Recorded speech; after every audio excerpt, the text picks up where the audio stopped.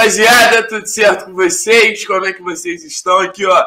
Aqui, não tá entendendo porcaria nenhuma? Sorriso no rosto, minha gente. Hoje é dia de furacão, hoje é dia de Atlético, sabadinho gostoso pra gente ver mais uma vitória do Atlético no Campeonato Brasileiro, mas muita calma nessa hora. Comecei o vídeo muito empolgado, afinal o jogo é muito difícil. O Atlético deixa Curitiba, vai até Porto Alegre enfrentar o último confronto contra um clube gaúcho ao longo desta Série A. Acho legal a gente lembrar o nosso retrospecto. Tá mais ou menos nosso retrospecto no Campeonato Gaúcho do Brasileirão, né?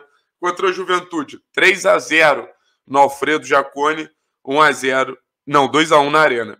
1 a 0 contra o Grêmio na Arena do Grêmio, 4 a 2 na Arena da Baixada e 2 a 1 contra o Inter na Arena da Baixada.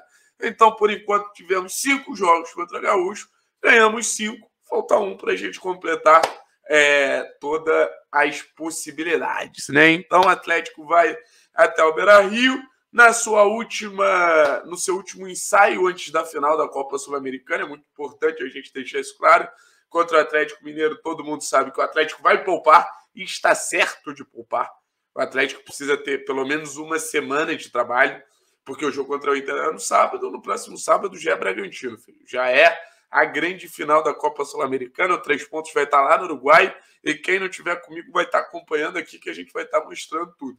Então, no final das contas, é muito importante a gente ter é, essa semaninha de trabalho, vai ter viagem, os caras precisam estar descansados, sabe? Então, o jogo contra o Inter é um jogo bom, assim, de ser nosso último confronto, porque, de verdade, eu estou confiante para o jogo contra o Inter. E para eu estar confiante no jogo de Campeonato Brasileiro é, é, complicado, porque o Atlético não vem fazendo por onde ao longo da competição. Mas eu acho, depois de, de receber a notícia que a gente deve ir com força máxima, e eu sei que a gente tem alguns desfalques, e, e são alguns desfalques relevantes, Eric Abner são jogadores muito importantes, eu acho que o Atlético, o atleticano, tem que, tem que se fazer uma pergunta. Faz sentido a gente ganhar do Inter? Faz sentido a gente ganhar todos os jogos, mas encaixam as peças ali para a gente ganhar do Inter? A gente vem numa sequência boa no Campeonato Brasileiro. Os próprios jogadores já falaram que, que, que existe um comprometimento para terminar na parte mais alta da tabela. Você falou até em G6, sabe? Então existe um retorno para os caras. Porque o que aconteceu em vários momentos ali foi o fato do Atlético não se sentir motivado não ter um foco. Mas eu acho que a queda no Campeonato Brasileiro foi aquela velha história, aquele velho ditado popular. Dois passinhos para trás para dar uns cinco para frente. Porque eu acho que o Atlético sentiu a água batendo aqui no pescoço e falou: velho, calma aí que eu não sou time de ficar aqui embaixo. Cara. Porque, vou te falar, a impressão que dava era que o Atlético era um time ruim. Aqui no Rio, a galera não entendia como o Atlético estava na semifinal de Copa do Brasil. Esse time que está na parte baixo da tabela, mas a surpresa era a gente estar tá lá embaixo. Eu acho que isso ligou um alerta nos jogadores, porque a postura nos últimos jogos foi bem diferente, né? A maneira com como o Atlético se comportou, a eficiência nos últimos jogos foi muito diferente. Então acho que tem tem tudo para ser mais um bom jogo do Atlético, sabe? Óbvio, existem alguns acertos. Acho que o Atlético, é, mesmo com os bons resultados, vem cometendo alguns erros que não é para cometer. Eu acho que, por exemplo, contra o Ceará, as transições não foram bem feitas. E as transições são importantes. As transições são os movimentos que levam o time da defesa para o ataque, do ataque para a defesa. Então a gente precisa ter um encaixe melhor nessa questão, sabe? Responsabilidade do, dos volantes, dos laterais, principalmente, que são os jogadores que fazem mais esse vai e volta. Tanto que os volantes no futebol moderno receberam o apelido de box to box, talvez o apelido mais ridículo que exista no, no futebol moderno, sabe?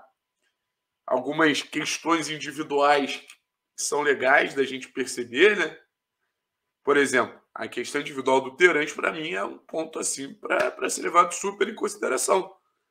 Porque se a gente volta um turno, um turno atrás, o jogo contra o Inter, no primeiro turno, era um Terãs no auge, voando, fazendo chover, o melhor meio campo do Brasil. O Terãs teve algum, um, algum momento ali na temporada que ele era realmente o melhor meio-campo do futebol brasileiro.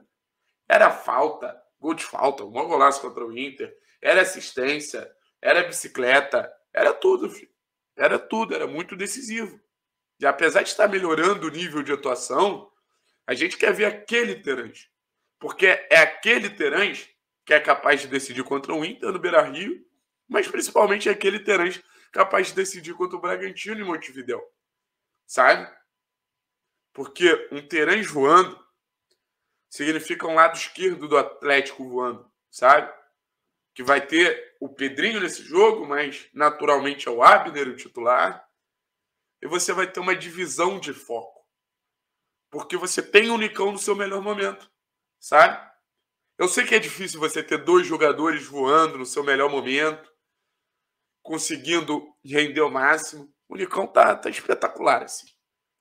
Porque eu acho que existe algo no Nicão do, do The Last Dance, tá ligado? De, de ter os últimos passos com a camisa do Atlético no melhor momento possível. Eu acho que o Nicão vive algo que um jogador do Inter vem vivendo nessa temporada e vem performando muito bem, que é o Tyson. O Tyson tem a questão da volta para casa. O, o Nicão tem um momento ali de se despedir da melhor maneira, deixar uma impressão boa sabe? Então essas ligações sentimentais, emocionais, são muito fortes. E eu acho que está na hora do Terence desabrochar de vez. Ter aquela atuação espetacular para a gente ficar de boca aberta e falar: caramba, salve o rei Davi, sabe? E ele pode ter esse tipo de atuação. Aí você tem outros jogadores que vem melhorando, vem performando melhor no Atlético no momento certo e faz o time todo crescer, né? Começando lá de trás, você tem o Pedro Henrique que, que vem num crescimento muito interessante. E o Pedro é um personagem muito importante, sabe? O Pedro é um jogador que, que nos protege no jogo aéreo. O Pedro é um jogador que dá uma fluidez ali pelo lado direito, senão nossas jogadas começam muito mal, se ele não estiver no melhor momento possível ali, sabe? Então, é uma graça do céus voltar a ter o Pedro Henrique performando. E ele sempre se deu muito bem com o Thiago Heleno, são dois jogadores ali de uma personalidade muito forte. O Marcinho vem melhorando, vem se tornando cada vez mais decisivo, com gols, com assistências. O Marcinho é um jogador que, que em vários momentos não conseguiu ter reconhecimento da torcida por um, por um motivo óbvio. Mas agora acho que ele começa a conquistar a torcida de vez. Você tem o Renato Kaiser, que é um jogador assim que, que eu gosto bastante também, entregando um comportamento ali de, de ataque de espaço, de pressão na saída de bola. Então, no final das contas, velho, tem vários jogadores ali vivendo um bom momento, Léo Citadini. O Atlético chega bem ao Beira Rio, sabe? Não é que nem o Inter, por exemplo, falando um pouquinho do nosso adversário, que dos últimos seis jogos só ganhou um. E o Atlético só chega bem por causa dos resultados. Os resultados mudam muita coisa. Os resultados mudam posição na tabela, tranquilidade para trabalhar, moral, sabe? Moral é muito relevante. E o Inter vem nessa sequência ruim, tem desfalques importantes, assim como a gente. Mas o Inter, por exemplo, não tem Tyson e Yuri. Isso facilita muito nossa vida. O Atlético vem levando muita sorte nessa questão ao longo da temporada. Pelos desfalques que, que, vem, que vem sendo é, nem, nem sei o termo, mas que os outros times vêm tendo desfalques importantes contra o Atlético, sabe? E, e, que o Atlético consiga desfrutar da melhor maneira possível. Mas o Inter ainda é um time competitivo, um time muito forte, o jogo vai ser muito difícil. Mas a gente já explicou ontem no Par da Usada. Se o Atlético se fechar e não oferecer ao Internacional o jogo que ele deseja, eu acho que no final das contas a gente vai ver que no final das contas a gente vai ver que as coisas podem se encaixar. Saindo rápido em contra-ataque, protegendo a área muito bem. O Atlético vem impedindo que os adversários entrem na área. O Atlético vem sofrendo cada vez menos finalizações dentro da área. Isso é muito relevante dessa proteção de área.